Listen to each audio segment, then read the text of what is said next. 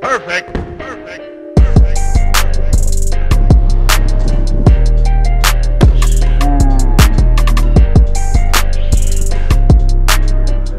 Now we're going to move on to a very iconic kick, made famous by Jean-Claude Van Damme. You probably already know the kick name just from saying that.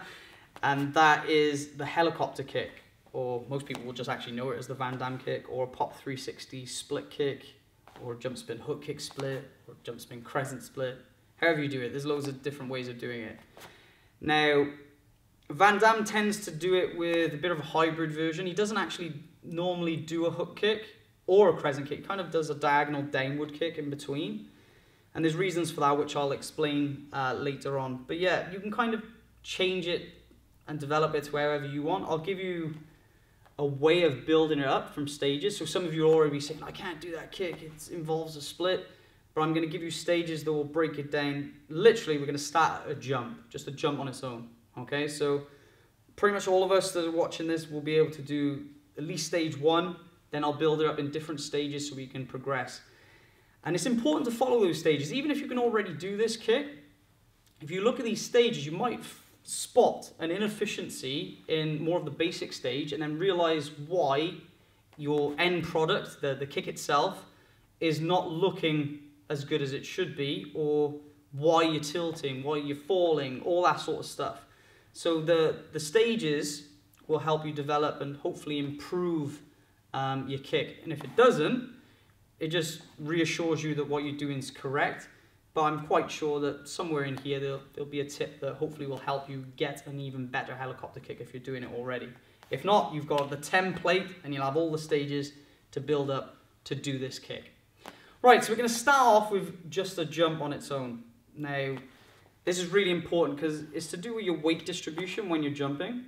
So what I mean by that is I'm actually, I'm just going to do the jump on, on the spot here, facing towards you for a minute. We'll be obviously doing the kick in a different direction. But just the jump itself, it's really important that I don't lean or favor one side, even if it's six, let's say it's like 60-40. So I'm leaning on this leg just a little bit more. When I jump, it'll still tilt me and I'll favor going to that side. If it's even more percentage, then I'm going to be leaning even more. And if it's the other side, I'm favoring, I'm going to be leaning that side. So if I've already got this inefficiency in just jumping, it's going to get amplified when I start to add things. When I add the spin, then I'm going to chuck myself across maybe with the arms a little bit more, and then it's going to send me even more in a direction that I don't want to go. When I add the, the kick or the landing, it's, it's going to be rough, it's going to be difficult to land. So it's important that you get these stages down. So when we jump, we're going to try and focus on getting a 50-50 weight distribution on our legs. And when we jump, we're going to leave from our toes. And as we jump, we're going to drive our shoulders up. Because if we lean in or we look at the floor, then we're going to lean forward. And then when we jump, we're going to move that way. If I'm looking too far up, then I'm going to be going backwards. So it's important that you're focusing in front of you, you're driving your shoulders up, and you're leaning for your toes to get a nice spring. Okay, so when I jump, I'm springing. Okay, and that's pretty much on the spot. Should be, hopefully anyway. If it's not, it's because I've got a little problem with my knee. I think it's quite, pretty much dead on the spot.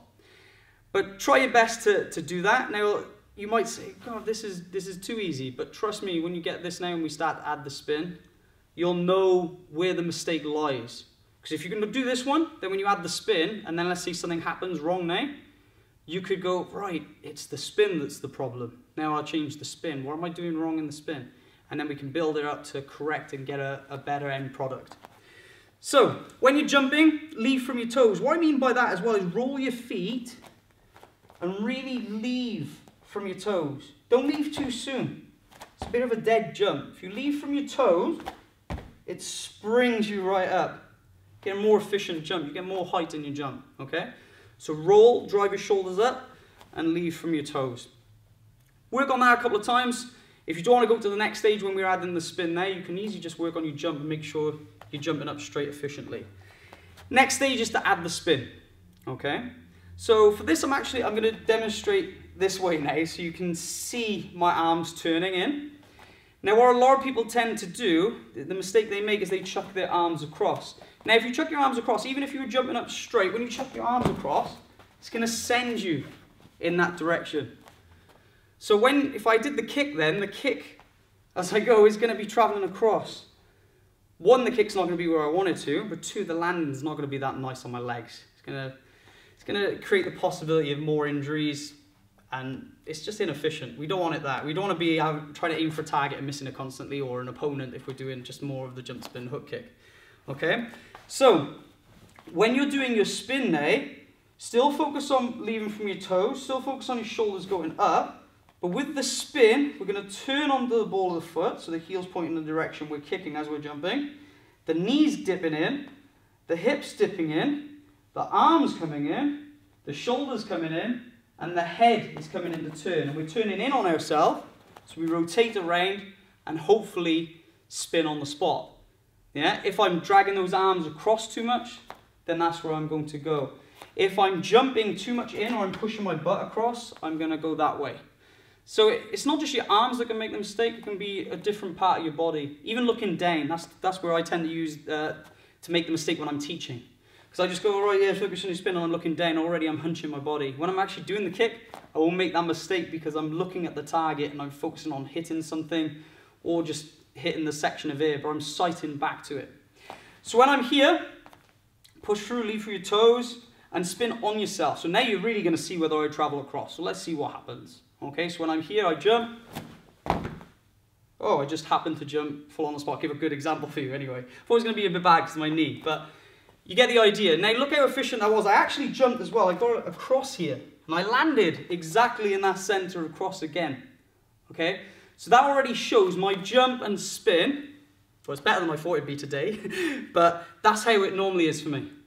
So then I'm confident whenever I do the kick. I know I can control that jump spin.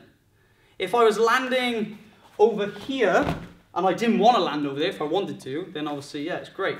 But if I was doing that and I meant to stay on the spot, now that's a problem. Now we need to work on this jump spin to get on the spot. Now, even though this, this, uh, these stages are for the, the Van Damme kind of kick tutorial, but this is, a, this is for every jump spin kick. so I'm not just kind of, all these stages will help you with all the jump spin kicks. So really focus on these stages because they'll help with all of it. Especially jump spin crescents and jump spin hook kicks. Jump spin back kicks a little bit different because of the way you set your hips. Jump spin side kicks the same, jump spin hook kicks the same, jump spin crescent, jump diagonal. You all need that torque going across. So this will help you with all of those. Anyway, get that jump spinning uh, 360 on the spot. Really good. And then what do you think we're going to add next? What, what could be the next stage? What can we add? So we, we started with the jump, we added the spin. Now you could just skip it and go to the kick, that'd be fine. Yeah, if, if you can do, do the kick already, you might just want to go straight to that. Some people will go with the chamber first because they'll want to learn how to land on the one leg, which is very good sa uh, safety for landing. I'm going to skip that one today only because of my bad knee, but that would be the actual next stage we go to. What I don't want to do is, is land all my weight onto my, my weakness because then that's, that's where it's probably going to go again. So the next stage would be to land on just the left, left leg and chamber. So I would jump, this leg would come out and I'd land on this leg. I find when I do my jump spin hook kick, I hook kick through and I normally land on both feet. So I land two-footed. So that's why I'm skipping the stage if you're wondering as well. I'm going to do it to the side so you can actually see the hook kick now. The next stage would be then to add the kick. So I jump, I focus on everything I was talking about earlier, now I'm just going to add the kick, and I'm hopefully going to land on two feet, okay? So I'm here, I jump, I turn, and I go a little bit backwards. I think it's because I don't want to land on my left knee. As you can see, I'm a little bit hesitant. Okay, so I'm leaning a little bit more back on this. So yeah, I'd, I'd preferably be a little bit more centered. Yeah, but I know the reason why I'm doing that. Obviously you do as well. Okay, that would be the next stage, working on the jump spin hook kick and trying to land efficiently on the spot. Now when that's second nature and you've got good control, it doesn't have to be perfect, it doesn't have to be on exactly on the spot. As long as it's only a little inefficiency, could be a couple of centimeters one way, that's fine. Loads of people have that. Even when I'm demonstrating, sometimes for people, I'll, I'll, I'll travel a little bit. Okay, if I'm really focusing, maybe I'm not going to travel as much. But if I'm just throwing it, not thinking sometimes, yeah, I might travel a little bit. Okay? If it's a big gap, like I said earlier, it's a problem. That's something you need to correct because it's going to make it more difficult to do things in the future, especially when you get more advanced. You might get away with a Van Damme kick if you've got a good jump, But when you go on to the Long Reigns, the Guyver kicks, which hopefully we're going to get to today, then it's, it's going to show and you're going to really struggle or damage your leg that you're landing on. So the next stage then, once we've got that, that hook kick good, we're landing pretty much on the spot, we're then to be focused on the other leg. Because this one will come out. It's this one now that needs to create the split effect. Okay? So to create the split effect, the leg needs to come out and the hips need to open. So if I'm jumping, say this is, uh, these are my legs now for a moment, okay? So I jump, as this leg is coming out from its chamber, I'm going to kick this one up and I'm going to try and push, open my hips and push my chest forward, okay, with it, because that way then it'll help me open my hips. It's kind of this motion as you're doing it, okay? Now this is a bit of a problem for momentum. It will actually kill your momentum a little bit, okay, which is why Van Damme, when he gets to here, looks good, and then all of a sudden, drops down diagonally. And that's because his torque that he's got going through, if he just did jump spin hook kick, boom, it would just go straight through and all the way around. But now, because he's pushing out that back, it goes here, and then it drops diagonally down. Okay, you, you, can, you can change this kick a little bit to make it a bit more efficient, even more efficient than Van Damme if, if you keep practicing and you understand it a little bit. Yeah, but for his time, Van Damme did this kick the best I've seen, okay, in his time. But obviously things develop and, and people improve on the technique and they understand why things happen. And there's people now that will be able to do this kick and be able to land or even add kicks yeah, with, with good efficiency. So think about it as you're going through to really open those hips and kick that back leg up and also as if you're, you're kind of going to kick back on yourself, which will really slow you down, but it gives more of an illusion for that split effect for a bit more time. Now, like I said, this is completely impractical for fighting. Okay, you wouldn't do this for fighting. This is a complete demo kick. All right? But it looks cool. Everyone, everyone likes this kick. It's a good starting point to, to, to really think about aesthetics or, or for a, a good demo piece. Every, everyone would want this as part of a demo, breaking a board or just, you know, getting something to stand out or a picture, something.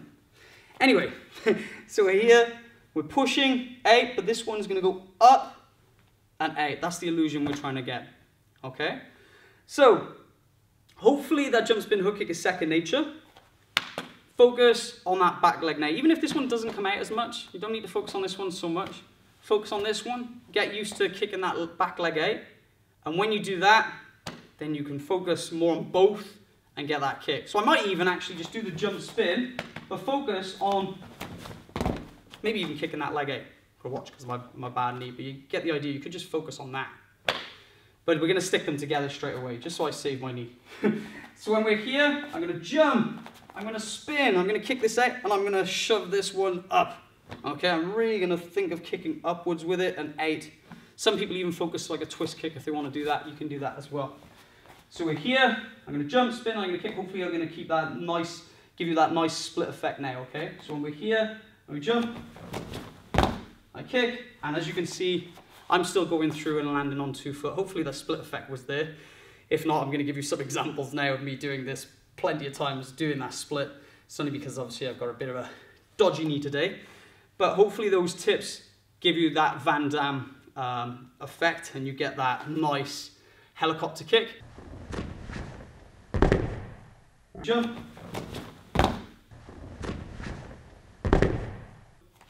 Yeah, just play around with it, try and understand it, break it down from the, the bare minimum, and then work your way up to more advanced. If we want to level it out more, I tend to do uh, more of this version.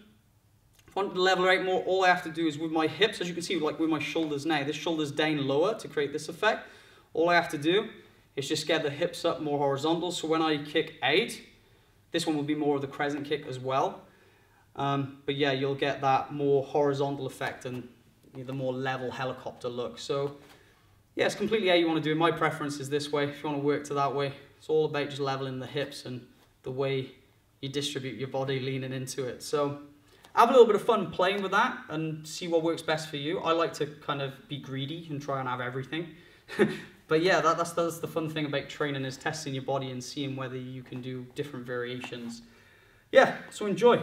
Ah, almost forgot, the last stage actually is just cleaning her up even more. The legs might look brilliant, but as you probably just noticed with mine, my arms were kind of just up and out, and some people kind of pull weird things with their arms. If you can do the kick, uh, the first kick out nice, and then you start to get the second kick out nice, you can focus on all the other little things that make it look even prettier if it's for demonstration. Okay, so then you can focus on a guard. So you might even be posing for a picture and you just want that shot, so you're focusing more on a guard position, which is going to make it more difficult to jump spin. But if you can create that and then drop a little bit less and you don't come around to the two feet like I did, then you'll have that nice photo look with the guard. Let's try and do one, just so, so you can see the difference. So if I'm here now focusing on more of a guard position, I'm going to kick the legs up exactly I was talking about earlier, but when I jump now, I'm just going to be thinking of this with my hands. Now sometimes this one is a bit dodgy and gets in the way a little bit, but you'll see now. So I'm here, I'm going to jump spin, I'm just going to try and pull a guard, okay? Okay, hopefully that was decent enough to, to be an example.